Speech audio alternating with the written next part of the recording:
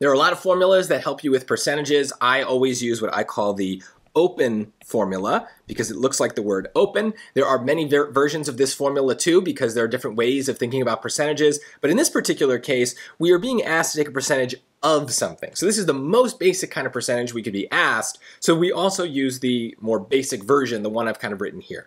So just to remind you of what this means, the O stands for the original amount, kind of our base value. The P stands for the percentage. Now that's going to be written as a decimal, so we'll get to that in a second.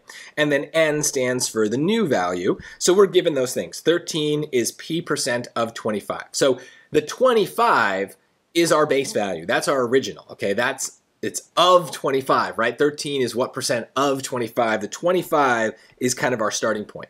So we're, we're going to solve for p, right? 25p is equal to 13.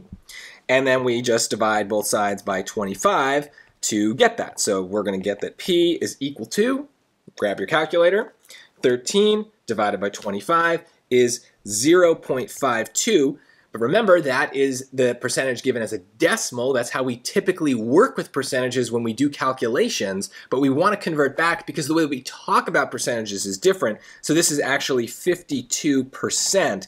And that's the way that they want us to answer this, right? So pay attention to the question. Sometimes they do ask for the decimal version because of the story or whatever, but here they want it as a percentage, right? And you can test it out by plugging the number that you solve back into the question and seeing if it makes sense, right? If I've said 13 is 0.52% of 25, hopefully that would just sound crazy to you, right? 13 is approximately half of 25.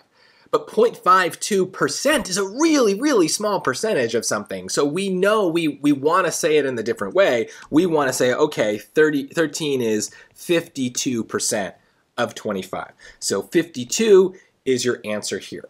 Lots of different ways that they could ask about percentages, but you'll see me always using that same formula, the open formula, because it's the best way for me to kind of solve the way the SAT asks percentage questions, which are notoriously tricky. Maybe not in this case, but certainly in other cases.